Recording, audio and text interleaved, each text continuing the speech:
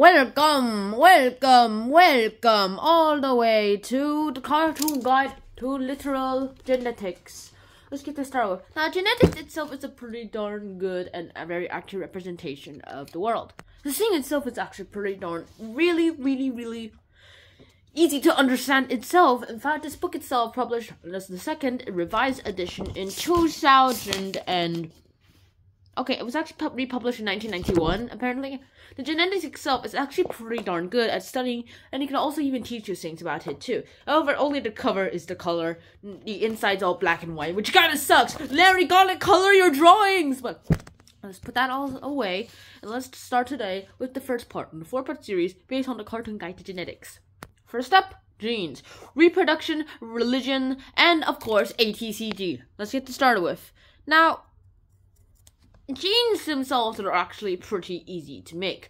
Well, sort of, principally, if you use the basic ingredients of life. Remember from the cartoon guided biology, lots of things are actually needed to create the life. Like create a life, like lipids, water, those kinds of things. But apparently sugars is all that you need, basically, like phospholates, phosphorus, and a bunch of other two molecules are all you need to actually create genes. And then put all those together, is you just create a gene. It's just that pattern matters. Materials are easy to get just to get them to turn into DNA by themselves. Now that's actually pretty hard. Now the thing is, our body is actually pretty good at collecting them. In fact, they've already collected enough to actually recreate things. Every time you actually have a little sperm cell or whatever egg cell, whether you're a girl or a boy, go ahead. You will probably much already have prepared yourself for your uh, reproduction days. That's all I'm going to say. Anyways, because of all these reproduction days, lots of things will start coming up. Uh, I'm not going to get into that until mutations and dominance. But firstly, gotta talk about religion. Now, let's start off with prehistoric religion. Prehistoric religion itself is pretty weird.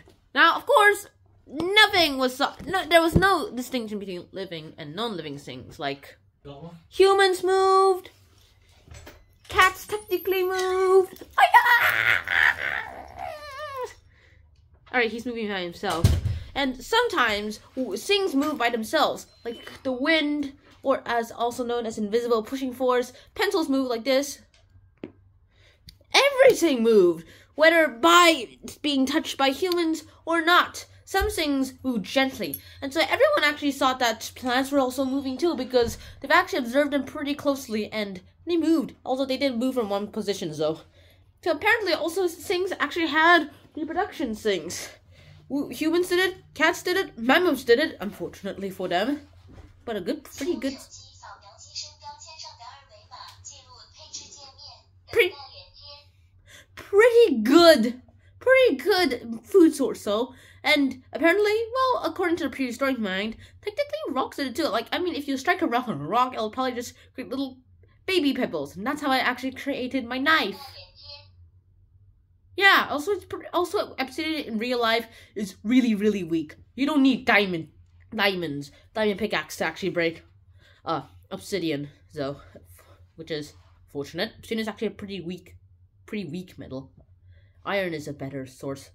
But the next thing that I really want to talk to you guys about is how all this can actually interfere with our understanding of this place. Let me explain, people.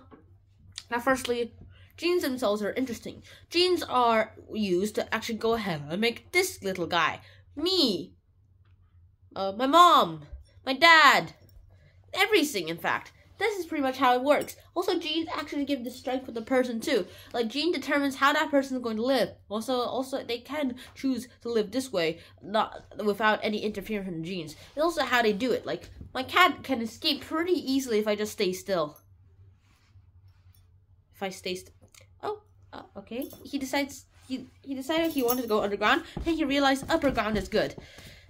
And also the only reason why cats have fur and why I don't have any fur, technically I do, but to do things.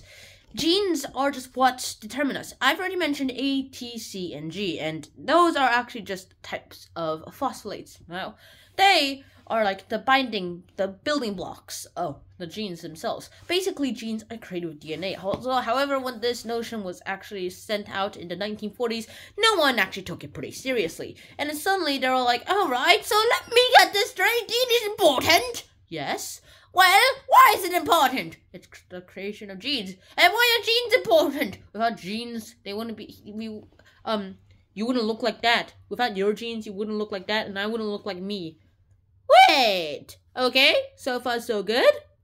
Now, how many phosphorates are needed to create one strand? Well, a billion, sir. And how many for just one link? Two or three, sir. Two or three? Is it two or is it three? We're figuring that out, sir. Well, figure it out And apparently, there's these two guys who actually sound like Sherlock Holmes and Dr. Watson. Watson and Crick. Watson and Crick. Holmes and Watson. Watson and Holmes. Ha, that actually sounds pretty good. Anyways, they both figured out. They realized that there are four baselines, technically five if you include RNA, five types of like phospholates, and then there were two, three combinations of how they work out. For DNA, there are only four phospholates: A, T, C, G, adenine, thymine, cytosine, guanine, and for mRNA, messenger RNA, or whatever kind of RNA you do, the kind that COVID nineteen uses, it's actually they they also use four phospholates. Three of them are common with DNA: adenine, cytosine, adenine, thymine, cytosine. But instead of like the guanine, they use a U, a uracil, a urus. Yeah, I think it's called uracil. Anyways, that happened, and apparently here there are actually six kinds of combination. You can compare. You can compare A to T, and you can compare C to G, and U only U only works with C. Apparently, it can also connect to C. So yeah, that's actually pretty good. Anyways, that happened, and literally the whole everyone's minds were blown.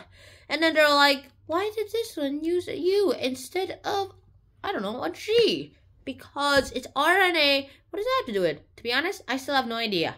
Seriously, and that happened.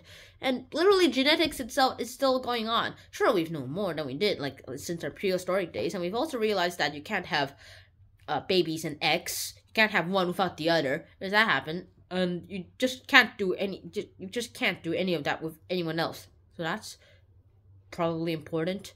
So I'm gonna explain to you guys about dominance, like chromosomes, next next next video, next part, and I guess I'll see you guys then. But one last note about genes before I end this video on a high note. Genes are important. They are mutatable, and they come together, but they're pretty hard to see. In fact, the only reason why we know they're there is because whenever we see we whenever we uh, look at it through a microscope of two cells, the sperm us dividing, we only see, we so see that little line and we think that hey how does that appear there and suddenly disappear? And we always think that genes are there but this is actually chromosomes and i'll explain to you guys in the next episode. So hopefully you guys enjoyed this episode. Hope to see you guys soon. Until next time shout out peace and always remember to wear a literal helmet so you can protect your head